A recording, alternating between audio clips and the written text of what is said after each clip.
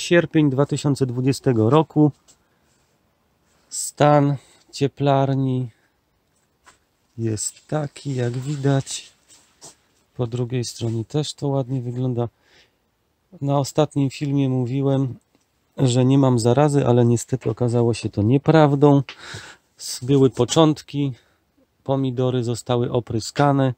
Dzisiaj zarażony zarazą. Także niestety radość z krzaczków jest, ale nie ma radości z powodu tego, że musiałem zrobić oprysk chemiczny. Nie udało się tego naturalnie zwalczyć. Jeszcze mam tutaj zgniliznę wierzchołkową suchą. Będzie trzeba, kupiłem już preparat wapniowy, będzie trzeba podlać. Generalnie uprawa się sprawdza. Teoria była taka, że posadzić dosyć gęsto i rozdzielić tutaj, żeby sobie u góry się rozchylały. Ale no nie działa to tak jakbym chciał. Teoria troszeczkę się rozminęła z praktyką.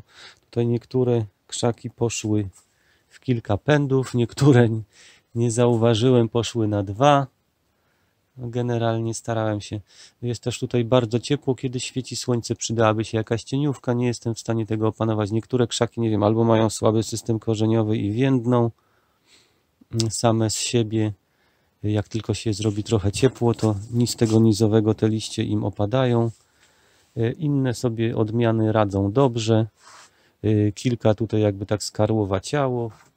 No coś takiego się porobiło. Liście im się pozwijały. Jak widać nie jest to wynik niedoboru pokarmu, tylko prawdopodobnie jedne zostały za późno posadzone y, i no, nie wytrzymują tej temperatury, a w innych odmianach całkiem dobrze to wygląda, także jest tutaj 50 odmian, także nie jest to łatwo wszystko opanować, każda jest inna, ma inne wymagania, y, tylko na kilku odmianach jest właśnie ta sucha zgnilizna wierzchołkowa, a inne sobie radzą dobrze. Za chwilę, tak jak widać tutaj też ładnie rośnie, ale te sznurki tutaj są za daleko, pod zbyt dużym kątem. No i nie mam już gdzie chodzić. Tu w przyszłości tą skarpę jeszcze troszeczkę przybiorę, będzie więcej miejsca, no ale w tym roku, żeby się tutaj przecisnąć, to muszę właśnie przesunąć ten metalowy drut, do którego są przywiązane sznurki. I już parę minut roboty, drut przesunięty, pomidory ponownie podwiązane. No, szału nie ma, ale jest znacznie więcej miejsca, można teraz swobodnie w miarę przechodzić. Jeszcze chciałem dzisiaj przeprowadzić na dół arbuzy i melona. Tutaj miałem melona, ale butelki za bardzo się nagrzały, także jednak działają za bardzo się nagrzały i temperatura, melon był na butelkach i temperatura od spodu wieczorem go przypiekła i zrobiło się takie coś i jak widać, no nic już by z tego nie było, także go odciąłem. Liczę na to, że jakiś melon się jeszcze zawiąże. Tam na polu też mam kilka krzaków i tam jest troszeczkę lepiej, ze 2-3 chyba rosną.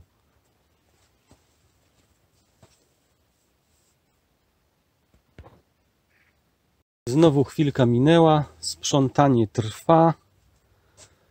Tutaj robię, tak jak mówiłem, porządek na melona i arbuzy. A jak już jesteśmy przy stołach zalewowych, to są właśnie stoły zalewowe. Tam w wcześniejszych chyba odcinkach, nie wiem czy już robiłem film czy nie. W każdym razie takie sobie stoły zalewowe prymitywne wymyśliłem, ale funkcjonalność 10. Bardzo sprawnie to wszystko fajnie wygląda. Tutaj tylko widać trochę tego z doniczek spada yy, torfu i się brudzi, ale to nie przeszkadza w zasadzie w funkcjonowaniu.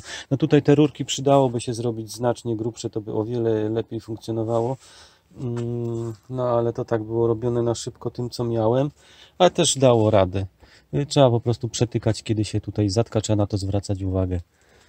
Mm, ja jeszcze kupiłem takie Y, Widziałem później w internecie, że ludzie normalnie hodują, y, znaczy stawiają tutaj na tej folii.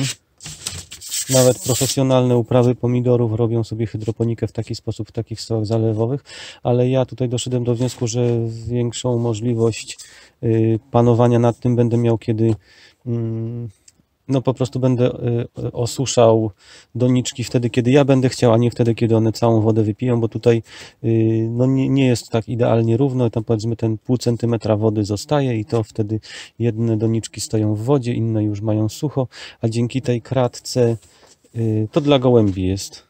Gołębie po takim chodzą, są jeszcze takie twardsze dochodzenia dla ludzi, także to nie jest, nie jest drogie, te dochodzenia dla ludzi są trochę droższe.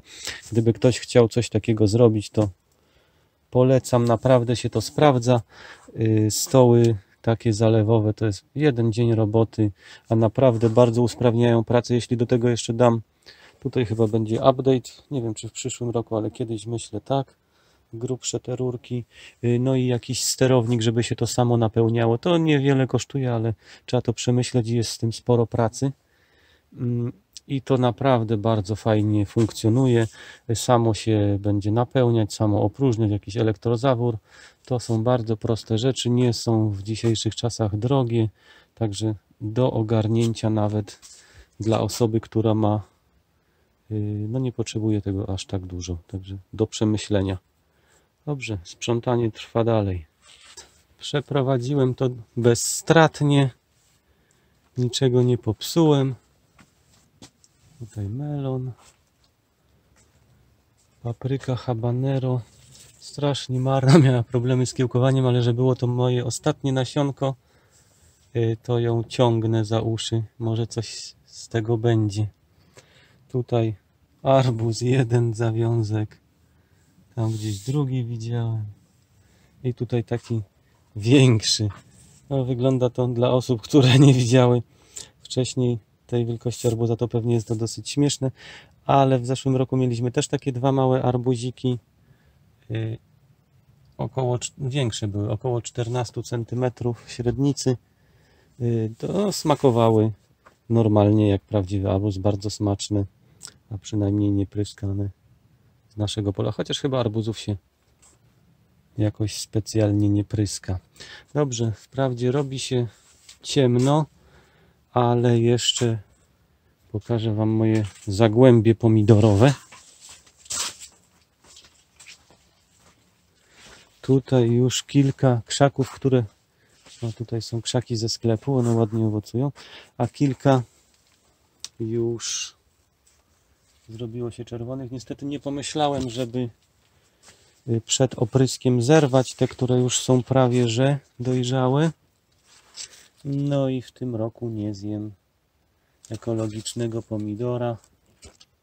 Są one niestety popryskane. Dzisiaj chyba jest piąty dzień, także mogę już sobie zerwać wedle instrukcji, chociaż jakoś średnio w to wierzę. No ale nie było wyjścia albo oprysk, albo nic. Tutaj na razie był jeden oprysk, a przypuszczam, że takie profesjonalne hodowle tych oprysków robią kilka. Wolno trzy, ale pewnie zmieniają preparaty i tych oprysków jest znacznie więcej. No pewności nie mam, ale myślę, że skoro mnie się nie udaje mm, ochronić przed zarazą, to myślę, że i na tak dużych plantacjach, może nie w całości, ale na pewno miejscowo gdzieś te opryski są robione. Jeszcze papryki, jedna się przewróciła, to ją tak prowizorycznie podparłem. Także kilka papryk w tym roku też będzie. Powinno przynajmniej. Dwa bakłażany, ale to nie wiem, czy coś z tego będzie. Tutaj jest otwór wentylacyjny i niestety jeszcze nie wiem, w jaki sposób to rozwiązać. Póki co pada deszcz i przypuszczam też tędy ta zaraza ziemniaczana ma dostęp no, przydałoby się coś z tym zrobić. Już jakąś tam folię kupiłem, ale nie bardzo mam na razie pomysł, jak to zabezpieczyć, żeby to było otwierane i żeby można było regulować klimatem. Najlepiej, żeby to był automat. Przeciskam się ledwo, ale już zdecydowanie lepiej się chodzi, jak ta skarpa zostanie troszeczkę przybrana, no to na przyszły rok już to sprawniej pójdzie tutaj. Tak jak mówiłem, jakieś sałaty chciałbym hodować. Zobaczę, która wersja. Czy właśnie z taką kładką, czy tutaj z przejściem z tyłu. No przejście z tyłu to będę mógł właśnie tutaj jeszcze zwiększyć produktywność tej cieplarni. Z kolei jak zrobię w ten sposób, że tutaj do tyłu nie będę miał dostępu, a kładkę po tej stronie, no to będę mógł więcej pomidorów, tak? Tutaj będzie więcej przestrzeni między nimi. Także wybór jak zawsze trudny, ale wydaje mi się, że na tyle tych pomidorów jest, że chyba rzeczywiście się zdecyduje na hodowanie brokułów, sałat, koperku tutaj z tyłu, żeby tego nie robić na zewnątrz, żeby można było przedłużyć ten sezon.